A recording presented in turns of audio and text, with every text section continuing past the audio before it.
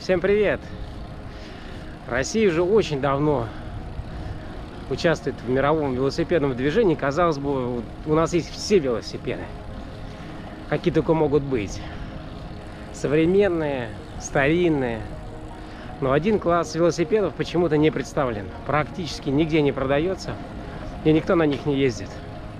Это мини-вело. Минивелла отвечает на запрос людей о компактности. Фактически это обычная рама, обычный велик, первоначально.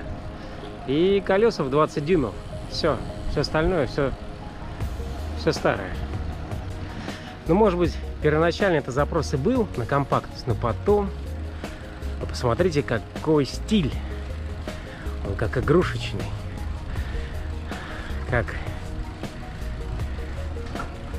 небольшой небольшой велосипед, который хочется взять в руки.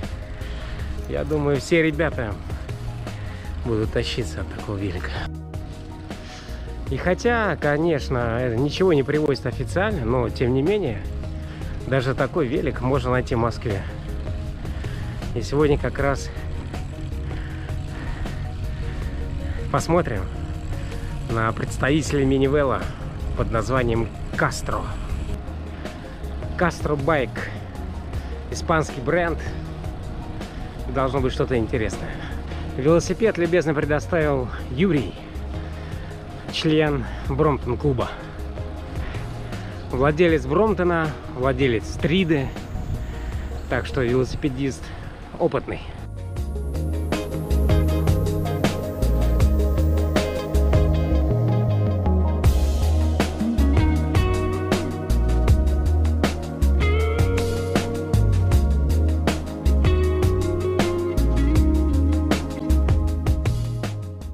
Привет, меня зовут Юра.